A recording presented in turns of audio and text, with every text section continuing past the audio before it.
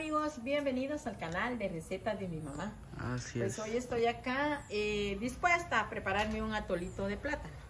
Resulta de que eh, visité a Irmeta y ella me dice, llévese un su racimo de plátanos. Y, y me traje un racimo, pero ya tenía como unos 6, 7 bien maduritos. Entonces eh, uno ya no puede comerse los cociditos porque están demasiado maduritos. Sí. Entonces decidí preparar un mi atolito de plátano.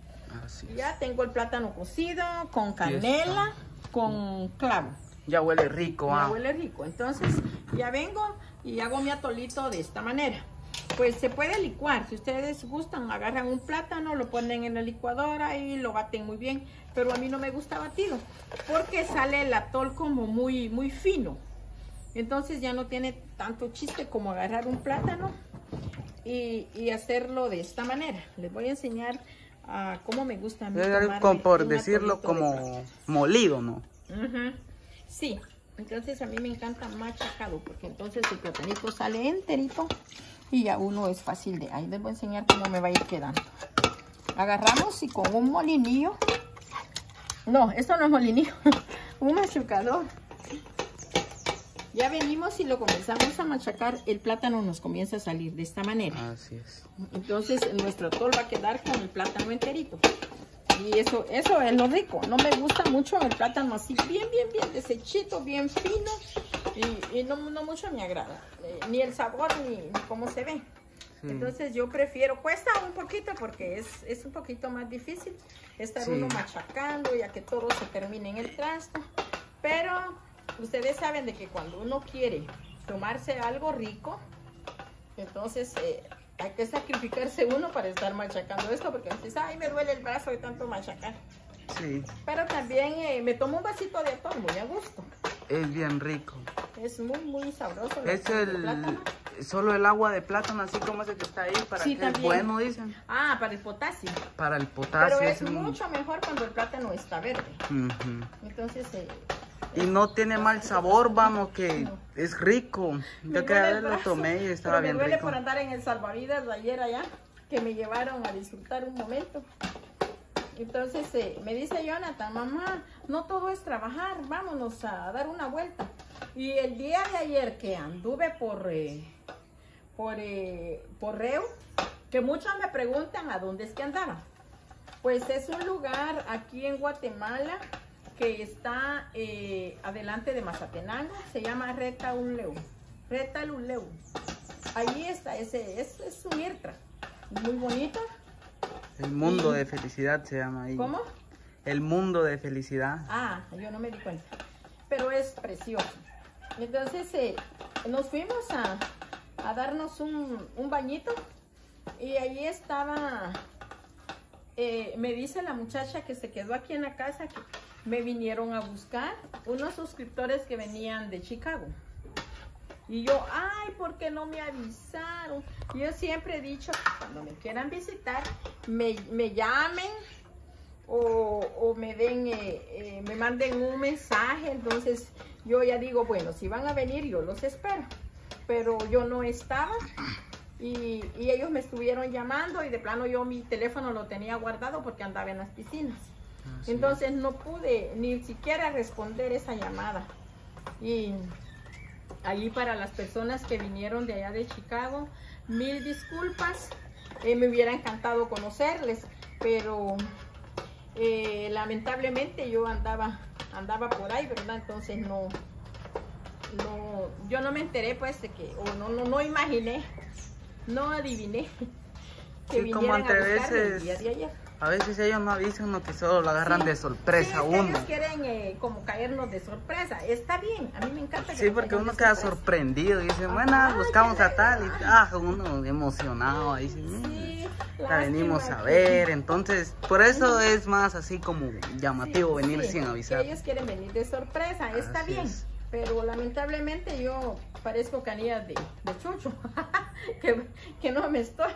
Bien, sí me estoy en la casa, pero eh, hay días eh, que sí salgo, ¿verdad? A veces ando de compras, pero ayer sí andaba con mi hijo de paseo. Entonces no, no logré estar y, Y mil disculpas para ellos, no sé. Yo dije, ¿por qué no me dejaron su nombre? ¿Por qué Sí. no, me, no me dijeron que iban a venir? Ahí Si ya. no, no me dijeron nada. Allá se está llenando la olla. Ajá. Ah, sí, mira cómo va quedando. Ahí está, está rico. Mira, mira, mira. Ahí está, el atolito como molidito, pero no de una vez deshecho. Y salió un atolito amarillo, amarillo. Así es de que para, para esta persona, eh, eh, yo quiero que me mande ahí su número de teléfono para hablar con ellos y, pedirles disculpas. Vinieron de tan lejos y el camino estaba retirado y dice que hasta se perdieron y, y para el colmo yo no estaba. Ay, Dios.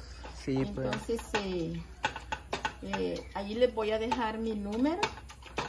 Es el 4209-2413. Así es. Y, y así platican. Por si no lo tienen ahí, lo vamos a dejar. Ahí en la cajita de comentarios lo vamos a dejar. Sí. No, ya sea que ustedes lo apunten ahí donde mi mano dijo que es el 42 09 24 13. Es tan fácil, ¿no? Sí, Es tan fácil, pero yo no. ¿Cuál, cuando yo acabo de comprarlo, ¿cuál es su número, doña Dina? Ah, yo no me lo sé porque como no me llamo, le digo. y a mí, me, a mí me cuesta de tener un número en la mente. Pero sí, a veces se me quedan. Por emergencia, va que a uno se le apague el celular o algo y uno no saber el número de ningún familiar es cosa seria. sí, eso es cierto. Ajá, entonces sí. Sí, es bueno tener uno eh, números de, de Números de familiares. familia. Ujú. Bueno, pues termino mi atolito. Ya poquito me falta. ¿Y ahí qué le va a poner a hervir todavía? No, ya no. Esto ya está cocidito. Esto es ya solo. Ah, o sea que ahí de ya- preparar el atol. Ajá. Acá ya solo vamos a, a- a- a ponerle azúcar. Ya está cocinado con canela y todo. Yo pensé, Eso dije, es. ahorita la de poner otra No, su no, media no, no, hora. no, no, no. Ahí ya está listo.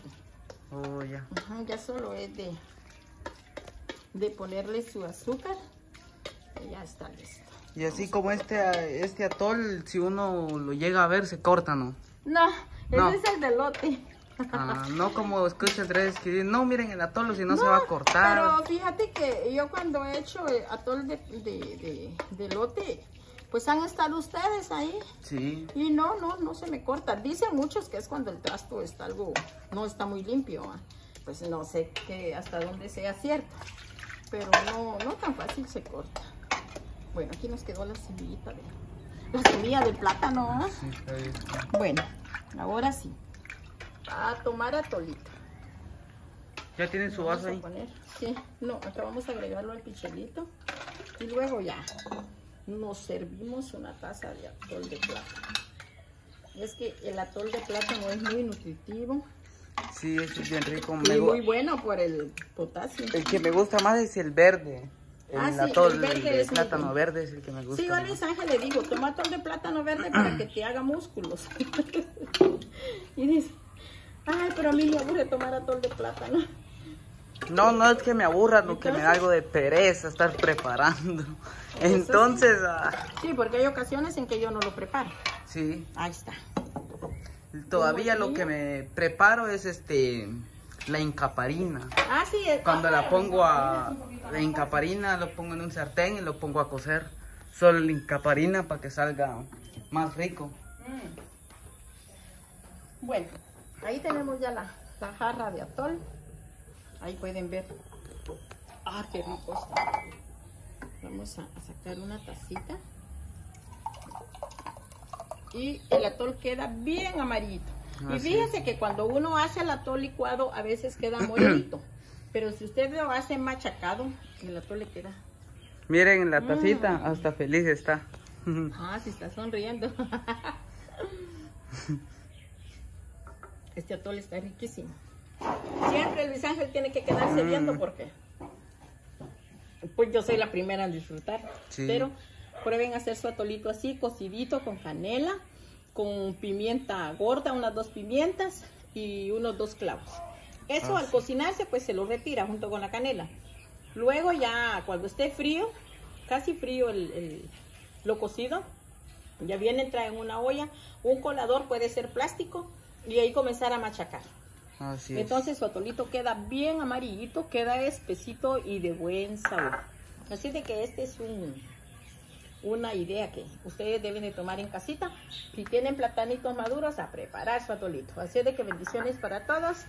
Y Nos saluditos a. Josefina hasta Panamá. Muchísimas gracias es. por su saludito. Ahí platicamos con ella y próximamente estoy en Panamá. Así Así de es. que en, en uno de estos días les doy la sorpresa que estoy llegando a Panamá. Así de que bendiciones para todos y nos vemos en un próximo video. Hasta Adiós. la próxima.